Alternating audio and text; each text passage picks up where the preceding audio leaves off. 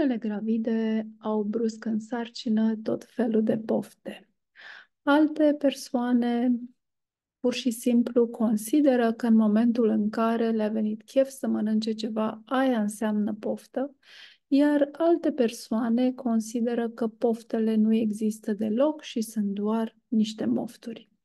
Și toate aceste păreri personale care sunt bazate frecvent pe experiența personală a diverselor persoane, uh, sunt doar atât, păreri personale. Și asta pentru că, din punct de vedere neurofiziologic, există pofte adevărate și pofte false. Și diferența este că poftele adevărate sunt practic o manifestare de răspuns la stres și sunt, de fapt, o încercare a creierului nostru vegetativ, a hipotalamusului, de a ne ajuta să trecem prin situații de stres mai ușor, cumva aducându-ne aminte de gusturi și texturi alimentare care în condiții similare de stres prin care am trecut altă dată ne-au ajutat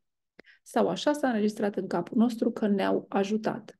Și hipotalamusul nostru, zona de memorie de acolo care se numește hipocamp, care este așa ca un fel de căluț de mare, ce reține căluțul ăsta de mare sunt conjuncturi. Și anume, de exemplu, dacă într-o cameră cu pereți albi cu maro acum 10 ani eram tristă și am mâncat piersici, când o să mai fiu într-o cameră cu pereți albi cu maro și o să fiu tristă, fără niciun trigger din exterior, fără să văd, fără să miros, fără să nimic, pur și simplu o să vreau piersici. Cam așa funcționează acest mecanism de pofte reale, iar în situațiile în care le satisfacem, evident, nu dintr-o dată, nu este o chestie pe care pur și simplu trebuie să o facem automat, ci trebuie măcar să devenim conștienți atunci când avem astfel de pofte reale, din două motive. În primul rând, pentru că multă lume în haosul de zi cu zi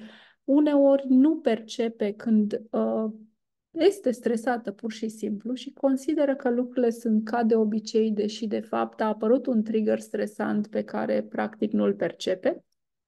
Asta pe de-o parte. Și a doua chestie extrem de importantă în conștientizarea poftelor reale este consecința. Atunci când, luându-ne în considerare planul de alimentație sănătoasă pe care îl avem de respectat, uh, ne satisfacem și poftele astea reale, ce se întâmplă în capul nostru? Practic scade secreția de hormon de stres. Deci este extrem de important, pe de o parte, să știm în general care sunt lucrurile care ne plac de fapt și pe de altă parte să conștientizăm că măcar o variantă adaptată, o rețetă adaptată, o cumva aceste alimente este important să rămână pe masă cu cât este mai mare stresul din viața noastră.